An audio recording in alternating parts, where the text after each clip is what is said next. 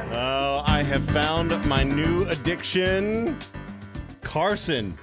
You know we like to clue each other in on TV shows. yeah. Uh, it's called, um, let me get to it. Is it cake?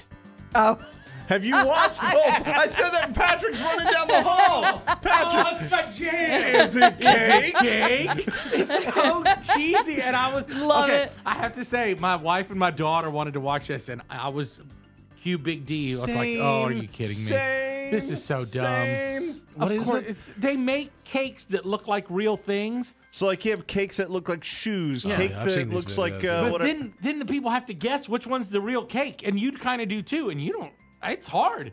Like what? There's five things up. There's five shoes, and four of them are shoes, and one of them is cake.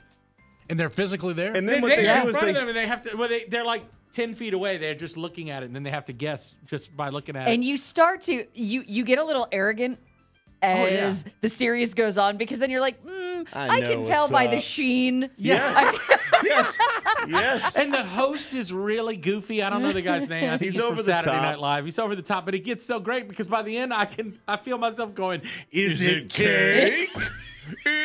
It's way too good.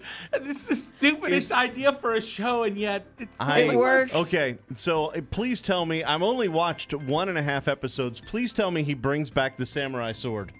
Uh, I haven't. I'm three episodes or four in. Oh, I Yeah. seen that okay, again. that's not good. Like on the very first one, he took a, sam- a samurai sword to it, which was cool because you take a big chop and it's like, oh, it's not cake.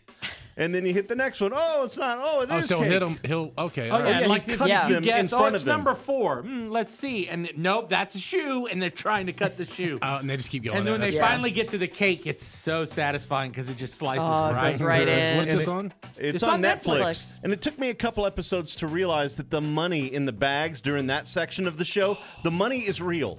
That is real money. That's why. On why both of 'em? On all, yeah, on both of them. Yeah, because at the end, like you win five thousand dollars if you win, if you're the baker that wins. And then you get but another then you get a chance grand. to win another five grand if you can guess which one of these bags of money is real and which one is cake, or which one of these boxes of money, or which one of these. It's so stupid, but it's so So great. great. Is and it it's called. Is it cake?